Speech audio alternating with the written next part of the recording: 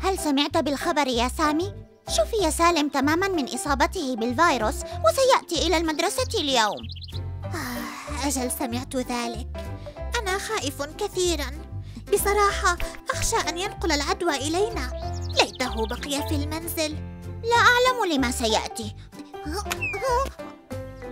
أنا غاضب جدا عليه. مرحبا روعة هلا فتحتي لي باب المكتبة؟ ابتعد عنا لا نريد أن نراك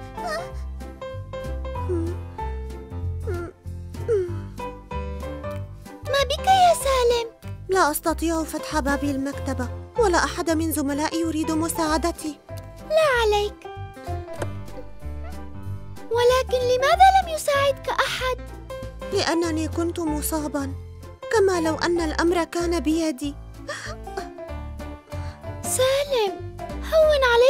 صديقي. جميعنا نعلم الفترة الصعبة التي قضيتها بعد إصابتك والآلام الشديدة التي تحملتها. ولكنني كنت أطمئن عليك من والدتك التي كانت تعتني بك جيدا. إلى أن تماثلت للشفاء تماما ولم تعد ناقلا للعدوى واستعدت نشاطك وحان وقت عودتك إلينا.